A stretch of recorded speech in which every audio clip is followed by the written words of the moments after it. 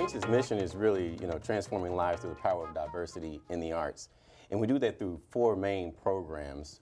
One of them being education and access, where we literally go into schools and put violins in the hands of kids Sure. and give them lessons and private lessons as well. Another program area is our artist development program, where we have the National Sphinx competition, where the nation's top black and Latino musicians are competing for a top prize of $50,000 and the opportunity to perform with some of the nation's leading orchestras, including our very own Detroit Symphony Orchestra as Yeah. well, who, who also host the National Sphinx competition.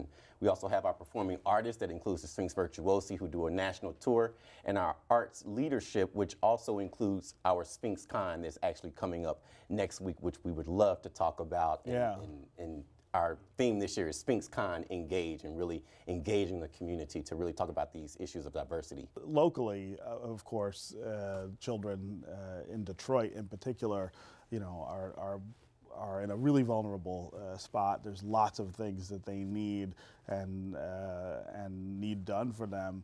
Uh, what, what, what's Kiwanis uh, And- and with them. engaged with there? And, and the largest one that Eric just mentioned is the Books for Kids. Uh, uh, right. We looked at when the libraries were starting to close, children did not have access to reading material.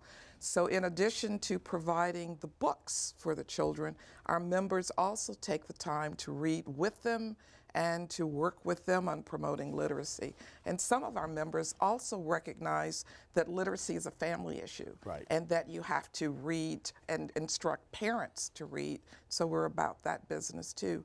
One of the tools that we also have is a local assessment. What does the community need that we can come in and work with them yeah. to do? And is that is that how you what led you to the the literacy issue here Absolutely, in Detroit? absolutely. The declining number of um, branch libraries. Yeah.